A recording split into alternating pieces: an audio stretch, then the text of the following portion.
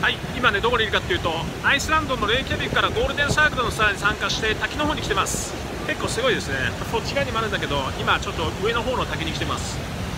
で、えーこういう感じで水量が多いですね。かなりの量滝っていうのもまあ世界各地にありますけど日本にもいっぱいありますのでまあそれぞれいい感じです。ねこういう感じでちょっと曇ってるのが残念なんだけど、えーまあ、すごくいい感じの滝ですこういう感じでいいですねだから皆さんがアイスランド来るときっていうのはブルーラグーンもそうしてほしいんだけどこういうゴールデンサークルのツアーに参加するってことをねしていただきたいですまあここで来る方、パッケージごとで来る方多いと思うんだけど、その場合って大体パッケージで組まれてる人が多いんだけどね、僕はね。